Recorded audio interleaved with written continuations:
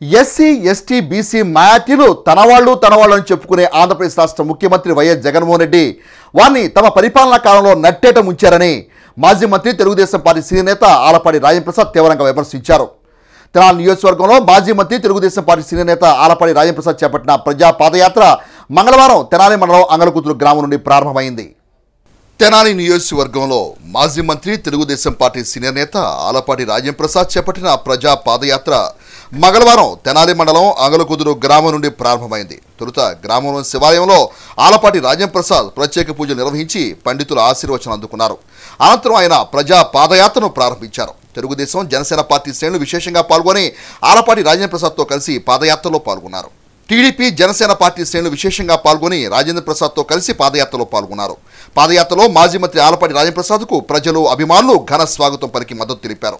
ఆయన ప్రజలతో మమేకమవుతూ అన్ని వర్గాలను పలకరిస్తూ వారి సమస్యలను తెలుసుకుంటూ ప్రజా వ్యతిరేక విధానాలు అవలంబిస్తున్న వైఎస్ఆర్ కాంగ్రెస్ పార్టీ ప్రభుత్వ తీరును విమర్శిస్తూ ముందుకు సాగారు. రానున్న తెలుగుదేశం జనసేన పార్టీ ప్రభుత్వం అందించే అభివృద్ధి సంక్షేమ చర్యల గురించి ప్రజలకు వివరించారు.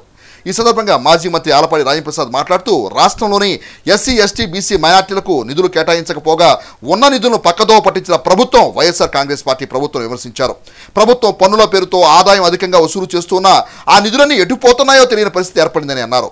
ముఖ్యమంత్రి జగన్ అధికారంలోకి వచ్చిన తర్వాత రాష్ట్రాన్ని రావణ కాష్టంగా మార్చారని పేర్కొన్నారు. వైఎస్ఆర్ కాంగ్రెస్ పార్టీ ప్రభుత్వ హయాంలో రాష్ట్రం సర్వనాశనం అయిందని ముఖ్యమంత్రి జగన్ను ఇంటికి సాగనపటానికి ప్రజలు సంసిద్ధంగా ఉన్నారని అన్నారు. రాబోయే రోజుల్లో తెలుగుదేశం జనసేన పార్టీ ప్రభుత్వం అధికారంలోకి రావడం ఖాయమని ఆలపాటి రాజంప్రసాద్ స్పష్టం చేశారు.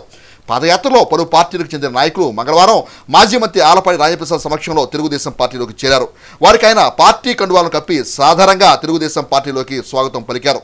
కార్యక్రమంలో మాజీ MPP Suryadevara Venkatrao HCV channel అధినేత కరణం వెంకటేశ్వరరావు గ్రామ పార్టీ అధ్యక్షులు కె శ్రీనివాసరావు మండల పార్టీ అధ్యక్షులు కేసన కోటేశ్వరరావు నియోజకవర్గ తెలుగుదేశం జనసేన పార్టీ నాయకులు కార్యకర్తలు పాల్గొన్నారు. ఈ ప్రభుత్వం మోసం చేసే ప్రభుత్వం కాదా అని నేను అడుగుతా ఉన్నా. ఈ ప్రభుత్వం అబద్ధాలు మాట్లాడే ప్రభుత్వం కాదా అని నేను అడుగుతా ఉన్నా. చేతగాని ప్రభుత్వం.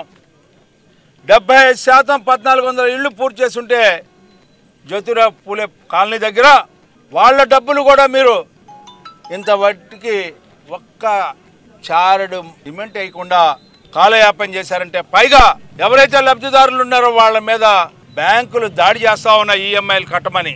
ఏమిటి మోసం అని చెప్పి నేను అడుగుతా ఉన్నా. ఎవరిని బాగు చేశారని చెప్పి నేను అడుగుతా ఉన్నా.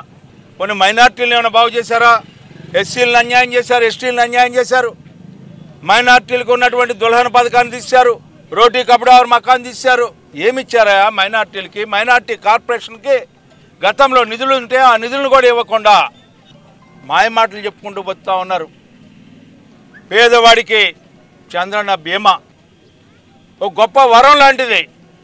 మనిషిని చనిపోతే తీసుకురాలేం కానీ ఆ కుటుంబాలు రోడ్డు మీద పడకూడదు అని చెప్పి వాళ్ళ కోసం ఇన్సూరెన్స్ చేయించి చనిపోయిన వారం రోజుల్లోనే చనిపోయిన రోజు మట్టి ఖర్చులకు ఇచ్చి చనిపోయిన వారం రోజుల్లోనే సహజ మరణం అయితే రెండు లక్షలు. యాక్సిడెంట్ ద్వారా చనిపోతే ఐదు లక్షలు ఇచ్చి ఆ కుటుంబాలను ఆదుకుంటే వాళ్ళు ఏమైపోయినాయి?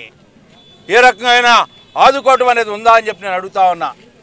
మీ నాయన చనిపోయినప్పుడు ఓదార్పు మాత్రం వెళ్ళావే ఇవాళ అకాలంగా మరణం చెందితే అనుకోకుండా ఆ కుటుంబంలో ఆపద సంభవిస్తే రైతులు చనిపోతూ ఉన్నారు కార్మికులు చనిపోతూ ఉన్నారు కౌలు రైతులు చనిపోతూ ఉన్నారు యాక్సిడెంట్లో చనిపోతూ ఉన్నారు.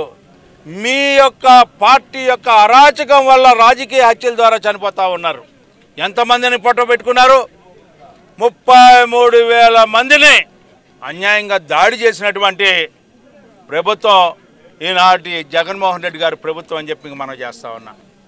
ఎందుకు జరుగుతూ ఉంది? దీనికి కారణం ఏంటి?